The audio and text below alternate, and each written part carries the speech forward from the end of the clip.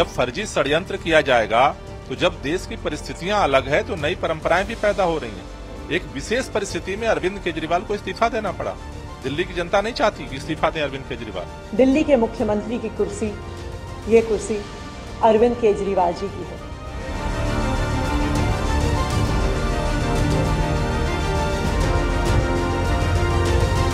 दिल्ली से आज एक ऐसी तस्वीर सामने आई है जो शायद आज तक देश में देश में कहीं नहीं देखी गई। मुख्यमंत्री का पदभार संभालते हुए दिल्ली की मुख्यमंत्री आतिशी के साथ एक दूसरी कुर्सी रखी गई थी। सवाल अब ये उठाए जा रहे हैं कि क्या ये उस पद की गरिमा को ठेस नहीं पहुंचाता? और क्या उस पद को लेकर अगर दूसरी कुर्सी रखी जाती है तो फिर विधानसभा से ही पहले इस्तीफा दे देते? बीजेपी सवाल उठा रही है आप पर। पद की गरिमा। बीजेपी को और क्या करना चाहिए? अरविंद केजरीवाल के जेल से आने के बाद जब उन्होंने इस्तीफे का ऐलान किया, उसके बाद बीजेपी के अब सवाल ही उठाने के लिए बचा है। वो दो साल से मुंगरी लाल के सपने देख रही थी, इतना षडयंत्र किया, चुने हुए मुख्यमंत्री को उठा के जेल में डाल दिया, नेताओं को सबको उठा उठा के जेल में डाल दिया, सब बाहर आ गए। तो भारतीय जनता पार्टी के पास अब कुछ बचा नहीं है, वो सवाल ही उठाएगी आगे भी पाँच साल। क्योंकि दिल्ली की जनता के दिलों में अरविंद केजरीवाल जी के लिए जो जगह है, वो परमानेंट जगह है। दिल्ली के अंदर दो मुख्यमंत्रियों के दिलों की जगह आज बन चुकी है। आतिशी जी ने दो मुख्यमंत्रियों की जगह मतलब? एक अरविंद केजरीवाल जो आने वाले हैं जिनका दिल्ली की जनता इंतज़ार कर रही है और चुनाव तक के लिए आतिशी जी जो इस काम को आगे बढ़ा रही है। तो मतलब आप अभी ये कहना चाहते हैं कि अरविंद केजरीवाल भी मुख्यमंत्री हैं आतिशी भी मुख्यमंत्री दिल्ली की जनता के दिलों में अरविंद केजरीवाल मुख्यमंत्री हैं। और उनको और प्रचंड बहुमत से वो लाना चाहती है। लेकिन चूँकि अरविंद केजरीवाल जी ने ये कहते हुए इस्तीफा दे दिया कि चूँकि जब तक जनता ये मैंडेट नहीं देती है तब तक मैं मुख्यमंत्री की कुर्सी पे नहीं बैठूँगा। वो एक भावनात्मक मैटर है दिल्ली के लोगों के दिलों का। आतिशी जी का जो ये भावना है एक भावनात्मक मैटर है। लेकिन उसी भावना को आतिशी जी ने इसके माध्यम से अभिव्यक्त किया है।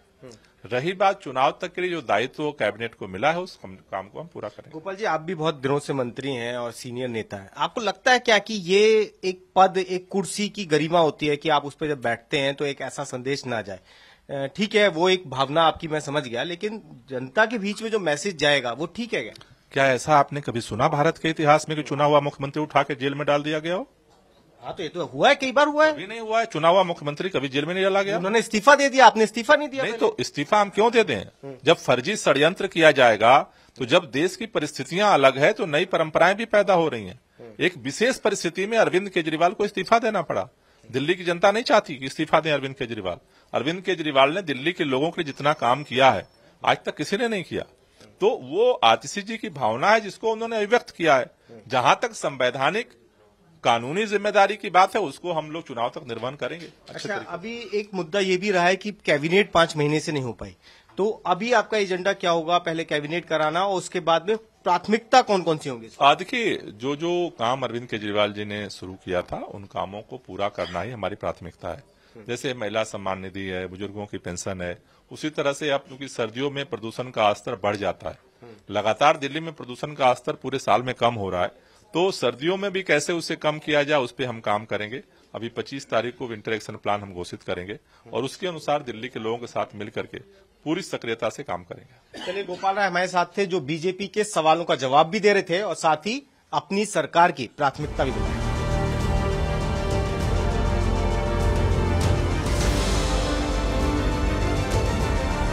मैंने दिल्ली के मुख्यमंत्री का कार्यभार संभाला है ज़िम्मेदारी संभाली है। आज मेरे मन की वही व्यथा है, जो भरत जी की थी, जब भगवान श्री राम चौदह वर्ष के लिए अयोध्या से वनवास पे गए और भरत जी को अयोध्या का शासन संभालना पड़ा। जिस तरह भरत जी ने चौदह साल तक भगवान श्री राम की खड़ाऊ रखकर अयोध्या का शासन संभाला, उसी तरह से आने वाले चार महीने के लिए मैं दिल्ली सरकार चलाऊँगी। भगवान श्री राम ने अपने पिताजी द्वारा दिए गए एक वचन को निभाने के लिए चौदह साल का वनवास स्वीकार किया। इसीलिए हम भगवान श्री राम को मर्यादा पुरुषोत्तम कहते हैं। उनकी ज़िंदगी हम सबके लिए मर्यादा और नैतिकता की एक मिसाल है। बिल्कुल उसी तरह अरविंद केजरीवाल जी ने इस देश की राजनीति में मर्यादा और नैतिकता की एक मिसाल कायम की है। पिछले दो साल से भारतीय जनता पार्टी ने अरविंद केजरीवाल जी पर कीचड़ उछालने में कोई भी कसर नहीं छोड़ी। उन पर झूठे मुकदमे लगाए, उनको गिरफ़्तार किया, उनको छह महीने तक जेल में रखा। जब अरविंद केजरीवाल जी को सुप्रीम कोर्ट ने जमानत दी तो उन्होंने कहा कि अरविंद केजरीवाल जी की गिरफ्तारी एक दुर्भावना के तहत हुई है। शायद कोई भी और नेता होता।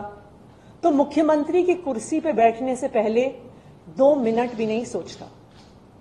लेकिन अरविंद केजरीवाल जी ने कहा कि मैं तब तक मुख्यमंत्री की इस कुर्सी पर नहीं बैठूँगा, जब तक दिल्ली के लोग उनकी ईमानदारी पर भरोसा नहीं दिखाते और उन्होंने मुख्यमंत्री पद से इस्तीफा दे दिया। लेकिन दिल्ली के मुख्यमंत्री की कुर्सी, ये कुर्सी अरविंद केजरीवाल जी की है। मुझे पूरा भरोसा है कि फरवरी में चार महीने में जो आने वाले चुनाव हैं दिल्ली के लोग अपने प्यार के साथ अपने आशीर्वाद के साथ अपने भरोसे के साथ फिर से अरविंद केजरीवाल जी को मुख्यमंत्री की कुर्सी पर बैठाएँगे। तब तक ये कुर्सी इसी कमरे में रहेगी। अरविंद केजरीवाल जी का इंतज़ार करेगी। मैं मैं आतिशी। ईश्वर की शपथ लेती हूँ कि मैं विधि द्वारा स्थापित, भारत के संविधान के प्रति सच्ची श्रद्धा और निष्ठा रखूँगी। मैं भारत की प्रभुता और अखंडता अक्षुण रखूँगी। मैं मुख्यमंत्री के रूप में अपने कर्तव्यों का श्रद्धापूर्वक और शुद्ध अंतकरण से निर्वहन करूँगी तथा मैं भय या पक्षपात, अनुराग या द्वेष के बिना सभी प्रकार के लोगों के प्रति संविधान और विधि के अनुसार न्याय करूँगी। मैं मैं आतिशी ईश्वर की शपथ लेती हूँ कि जो विषय मुख्यमंत्री के रूप में मेरे विचार के लिए लाया जाएगा अथवा मुझे ज्ञात होगा उसे किसी व्यक्ति या व्यक्तियों को तब के सिवाय जबकि ऐसे मुख्यमंत्री के रूप में अपने कर्तव्यों के सम्यक निर्वहन के लिए ऐसा करना अपेक्षित हो, मैं प्रत्यक्ष अथवा प्रत्यक्ष रूप से संसूचित या प्रकट नहीं करूँगी।